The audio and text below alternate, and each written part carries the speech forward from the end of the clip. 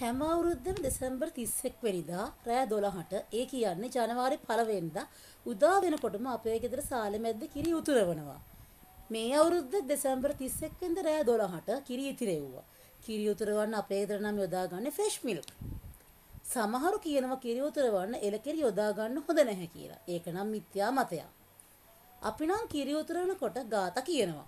මම මට ඔය ආభాෂ ලැබුණේ මගේ අම්මගෙන්. මගේ අම්මා දැන් අසනීපෙන් ඉන්න නිසා දැන් අම්මට ওই චාරිත්‍ර කරන්න අමාරුයි. මගේ අම්මත් ඉස්සර කිරි උතුරනකම්ම ગાත කියනවා. සමහර අය නම් ජනවාරි 1 වෙනිදා උදේ කිරි උතුරනවා.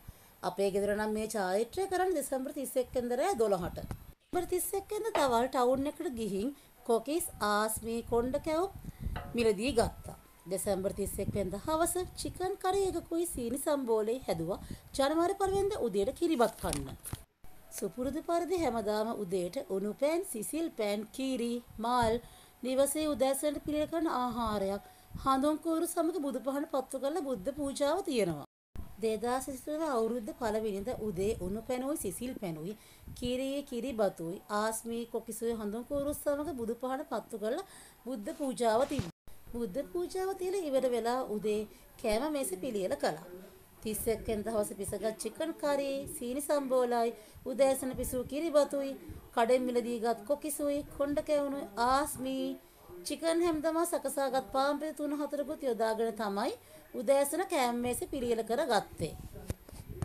දවල්ට කන්න කහබතක් හැදුවා.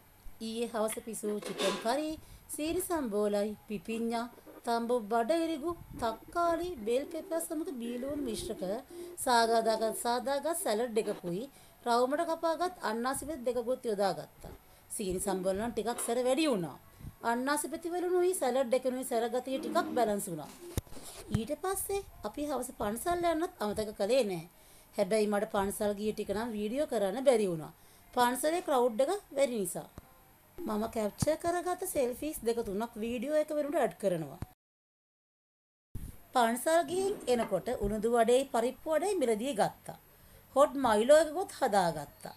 මිලදී ගත් උණුදු වඩේ පරිප්පු වඩේ සමග හොට්ම හොට් මයිලෝ එකක රස බලන්න නම් අමතක කළේ නැහැ. 2023 ජනවාරි 1 වෙනිදා දවස අපි ගත කළ අයුරු තමයි ඕගොල්ලෝ දැක්කේ. යාළුවනේ ඕගොල්ලෝ මගේ මේ වීඩියෝ එකට කැමති නම් subscribe කරලා like කරලා share කරන්නත් අමතක කරන්න එපා. ඒ වගේම bell icon එක click කරන්න අමතක කරන්න එපා.